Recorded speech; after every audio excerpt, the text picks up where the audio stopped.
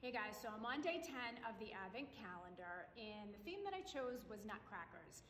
Uh, they're kind of a traditional item for holiday and I had a couple from um, previously where I thought it might be fun to kind of do an animation with them.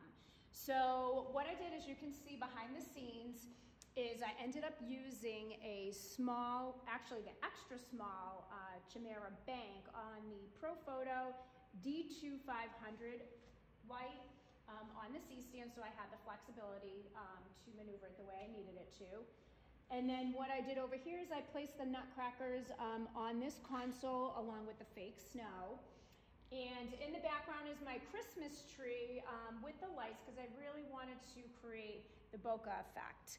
And I initially had a light on there with a reflector heading grid, but it I really actually didn't like the effect that it gave on the tree, so I decided I actually just want the tree to light itself.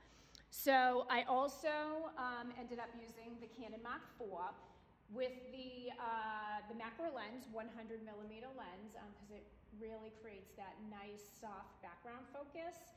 And if you want to come over here, I'll kind of just give you the rundown um, of the stop motion. It, it hasn't been um, fully animated yet. I will add music to it.